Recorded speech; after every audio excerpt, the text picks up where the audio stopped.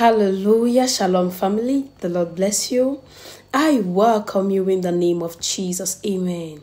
Seeing me for your very first time, you're welcome. This is the word and prophecy with Sylvie Mbua. If you're new, you're welcome. God bless you. And if you're old, thank you very much for always stopping by. I pray the Lord bless each and every one of you and meet you at the very point of your need in the mighty name of Jesus. Amen. Hallelujah. Glory to God. Prophetic word for today. The Lord says, I should tell somebody, you are ready for marriage, but your partner is not. You are ready for marriage and your partner is not. Now, this is why you have been praying and God has not yet sent the partner to you because God is still working on him.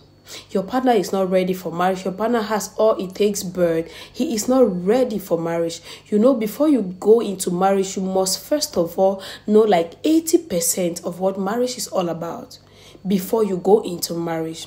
If you go into marriage without the knowledge of marriage, you are going to crash. So God is saying you are ready, you have the knowledge, but your partner is not your partner is not. And God is saying He is taking His time to prune your partner, to give him the knowledge that he, he needs for him to get married. Hallelujah. Glory to God. I pray in the name of Jesus by the blood of Jesus.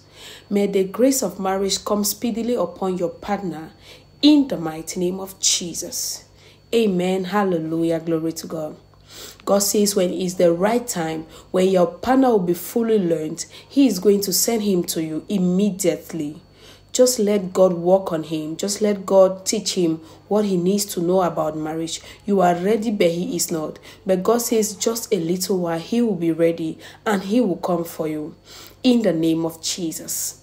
Amen. Hallelujah. Glory to God.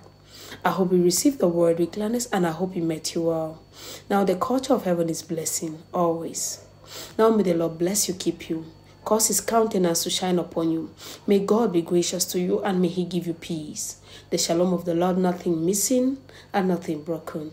I love you so much, family, and I will see you in a next session. Shalom.